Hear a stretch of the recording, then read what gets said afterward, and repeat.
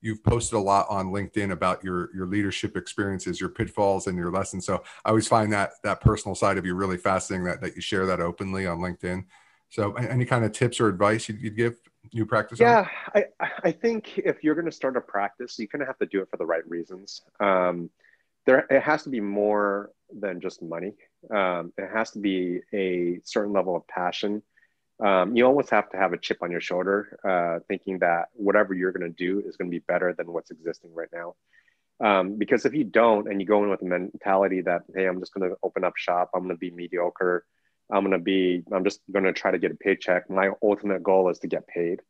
Um, it's not going to result in one happiness for you, and two, every time you try to chase the dollar, it's just going to be more and more elusive. You're going to make decisions that aren't really going to be for the right reasons, and your customer base is going to recognize that.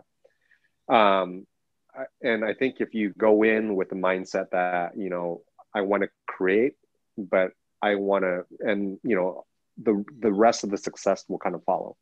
There's this old uh, you know Chinese proverb that's like you can either chase the money or you can allow the money to come to you and that is what we've always kind of held is that when we started up our, our, practice like there were days where it's like i literally only had like maybe 500 bucks left in the bank account.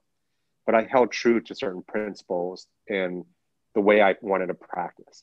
And through that we were able to develop the trust develop the clientele.